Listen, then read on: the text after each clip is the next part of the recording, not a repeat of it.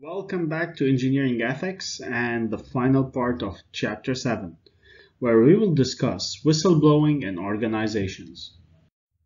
To start, we need to define what is whistleblowing. Whistleblowing is simply the act of blowing a whistle. Okay, so why do people do that? To alert others to a certain danger, like lifeguards in swimming pools, for example, or to request attention, like referees in soccer fields. So how does whistleblowing translate into organizations? Whistleblowing in organizations is the reveal of confidential information that the engineer deems of great importance to the public because it violates their safety. Another medium for revealing such information is the governmental route, where the information is delivered to the authorities. When this information is revealed outside the company, it means it has gone externally. And this is only done when the internal ways of whistleblowing have been exhausted. This implies that there are two types of whistleblowing, internal and external. Internal whistleblowing means that the information may go higher in the company, but it will stay inside the company, and the public won't know about it. External whistleblowing, on the other hand, occurs when internal whistleblowing gives no results and the information is announced publicly. Another question pops up. When is it okay to blow the whistle and state that something is wrong? The initial condition for any whistleblowing scenario is harm assessment. The engineer would question if the negative effects of a product or an activity would pose threats to the public. If the answer is yes, then something must be done about it. First, they try to resolve it internally by talking to their superiors. If that action yielded no results, then it is time to go public by telling the media or the government.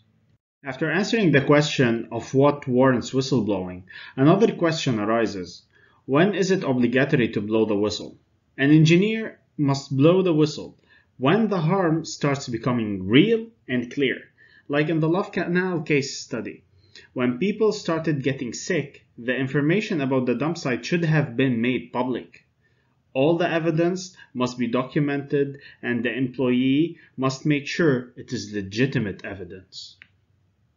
If you are a professional in an organization that is taking part in unethical conduct, you must make sure that you avoid being complicit in this misconduct. The first checkpoint is to make sure that the critical information that you find is derived from your work at this organization and not by any external means. Second, you need to be working out of your free will at this company and not be forced to work there. If both conditions are met, then you can proceed to whistleblowing by fully understanding what your company is doing wrong and collecting evidence. If you believe that by staying silent you will contribute to the harm done by, uh, by the company to society, then it is obligatory to blow the whistle. Before we jump into the case study of the video, here are some whistleblowing tips. First, always check the available venues for whistleblowing internally and externally so that you can make the most out of the available options.